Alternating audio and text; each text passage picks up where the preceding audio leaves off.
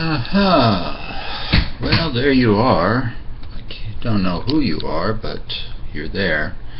Hey, it's Greg coming from Glendale. Um, I'm uh, going to show you a, another idea about milk. Um, now, if you watch my videos, you're going to see that I've been living on milk now for about six years, or almost 100%. Most days I drink close to 2 gallons or 7.5 liters of generally skim or non-fat milk. And but and that that's my diet when I stay at my apartment. Sometimes I stay at my mom's house. She lives in the same city as me.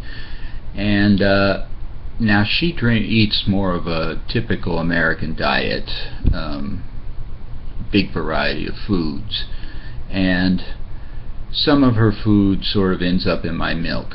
Now, in this case, my mother likes to have a couple of cups of coffee in the morning. She uses a coffee maker to um, to make the coffee. In this case, I'm going to put her coffee grounds in my milk. I'll show them to you. And most people throw these away, but I I don't like the waste. I um, I actually, well, if you watch other videos I've made, you'll see that I've um, I've kind of learned that you can eat things that are sort of unpleasant if you eat them quite slowly, and in fact you can enjoy them. Um, so most people think coffee grounds are pretty unpleasant to eat, or would be if they ate them, but um, if you if you put them in the milk, you get them in smaller doses, um, and they can be rather pleasant, um,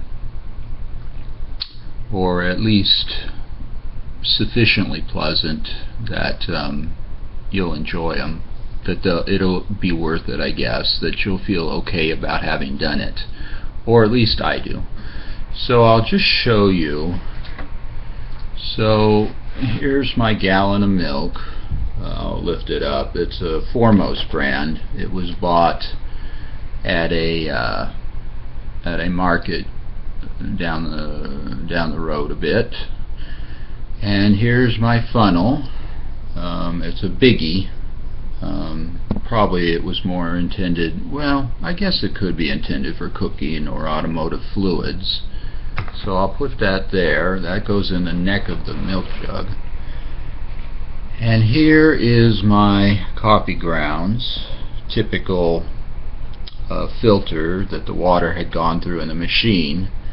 Now, I guess I'm going to try to let you see this. I'll put the milk jug here, push the computer back a bit and I'm going to dump the grounds into the filter. So you kind of see me doing that and uh, kind of knock them out a little bit. Now I, since they're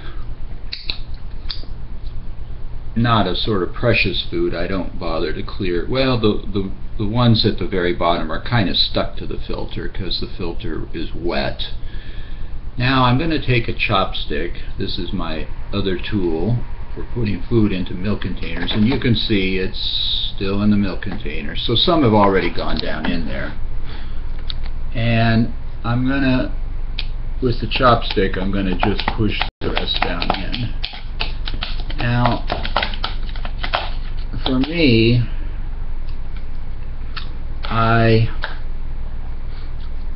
I often put different kinds of solid food into milk this way and um, the chopstick which the coffee grounds of course are very loose like um, sort of a um, what would you say? The best I can think of is like like dirt or dust or anything that would kind of break up, is broken up into very small pieces sometimes bigger things. I cut them bigger, more solid food. I cut into small pieces to go down the funnel, but if it gets stuck, I can push it down with the chopstick. So I'll take that out, put it to the side. Now, I guess that's the milk container. Uh, you can see the coffee grounds at the bottom. Um, and almost all solid food goes to the bottom in my experience. Um, a few things actually do float on the top, but I'm trying to think. Mm, I don't know which ones they are offhand. Um, anyway, now when I'm gonna, and I can, if I look down now in the milk, I can see, well it's a little darker, I think you can also see that, right? It's not pure white anymore. Um, but I can see a little, a few grounds floating on top. Now, if I drink that, well, um, I didn't take a very big drink. Um, if I were to take a larger drink, um, I think the coffee grounds, as I tip them back, will mix down into the milk a bit more. And then when I put the milk container back upright, they will sink to the bottom again. But anyway, um, now I'm chewing when I tipped back like that, I did get a, a few tiny coffee grounds in my mouth.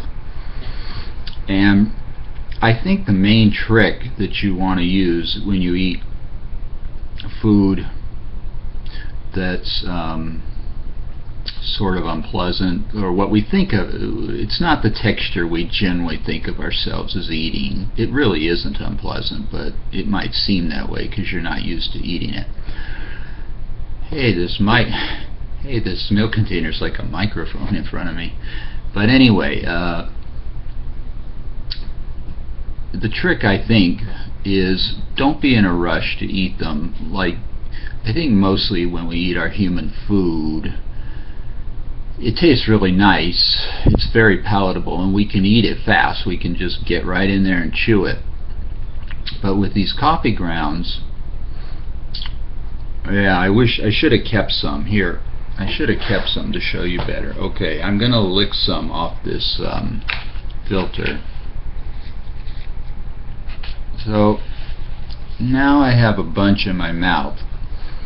And I'm talking to you. Now they're sitting on my tongue. I'm really not rush, rushing to eat them.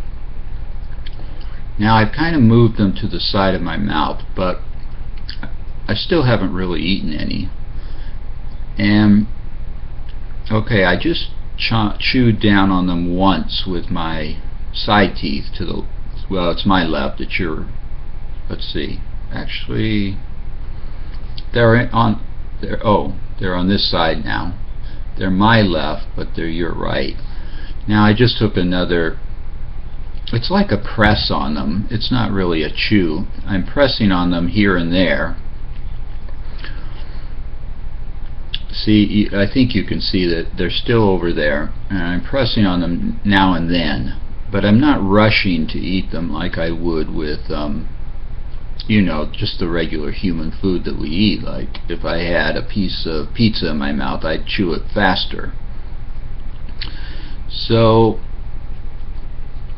as I eat them slowly and when I chew on them some of the flavor of them goes into my mouth. I don't mean chew. When I kind of it's like one chew but it's not really exactly like a chew because I'm not breaking them up fast so I can swallow them. I'm kind of mashing them might be a better word. Now and slowly slowly slowly slowly I'm gonna get more of the flavor out of them. And actually my saliva my mouth is producing saliva and I'm naturally swallowing it every now and then I don't know if everybody swallows their saliva every 20 or 30 seconds but I do yeah I'm mashing there's still some in there but even if I open my mouth I don't think you could see them but they're over there they're on top they're sort of between my well I'm not sure. Is it called molars down on the bottom? I think those are the molars back there. But like I say, my mouth automatically produces saliva. Every time I produce saliva, I think a few are kind of washing down my throat. And they're so tiny that they're kind of well, you guys might find them annoying when they wash down your throat. I kind of enjoy it just because it's different and it kind of makes me feel almost powerful that I can eat this thing that's kind of unusual that I have a technique for eating it but I get pleasure out of them um, that I can eat them without gagging or getting upset like um, people would maybe who hadn't gotten to this place that I've gotten to. So they're still actually there, right? That's them. I just put them back. As they've reduced, the number is reduced in size, well, I'm just going to leave them in there because there's no rush, right? Now, if I I happen not to be that thirsty right now. I probably made this video because the coffee filter was available to me and I didn't know if it might get thrown away. But for example, if I were to drink a little more milk, well, a few more might wash down my throat. Eventually they're going to get eaten. But actually, when I took that milk, the milk went down the center, and of course the grounds are tucked over here, so I didn't get that many. But sooner or later they'll be gone. Uh, I can move them to the front of my mouth, and that's okay too. And um, I think it's uh, I think it's pretty good. Um, now as I get further down of course I'm going to get close to where the mass of them are. And when I start getting more in my mouth I'm going to be a little careful and kind of control how many I get. But and then probably what's going to happen when I get down to the mass of them for a, a bit of time I'll be able to handle quite a few of them but eventually it may be that I'll be tipping the thing back and getting coffee grounds and it'll get to be too many coffee grounds. So then I'm just going to put this funnel back in and I'm going to add some more milk to the um, to the bottom of the jug. And that that'll sort of dilute you might say how many coffee grounds I'm getting in proportion to the milk. And they'll be easy to handle again Probably I'll be getting more than I, I, I have right now though. Um, this I just did to show you. But, um, you know, sooner or later if you drinking them down and then refilling uh, within they they get they do get consumed they do get consumed and they're pretty uh, like I say I enjoy them um, for me it's a little break from pure milk and uh, it's a different taste. And I sort of think it it educates me about um, well maybe about coffee or food or the composition of food or it might make me think about my taste buds or the sense of taste. Um, I don't know. I haven't gotten any big revelations about coffee yet by doing this it does remind one that they started out as a whole bean and then got busted up by the processor. Um, but I would think that as I keep doing it, actually I just started doing the coffee grounds. I've done lots of other kinds of food kind of this way, but I just started doing the coffee grounds. But I would think it'll be somewhat educational about coffee. So if you like, do it. Um, it's obviously it's most doable with a, a big container of milk. Um, so if you want to play with it, you might want to buy yourself a big container of milk. And I would feel good about that if you did, because I really believe in milk. I'd like to think that I was selling you a, a big container of milk. Um, so, I can't think what else to say about it. Um, so, if you have anything to say or ask, uh, put it put it in the comments below, as they say.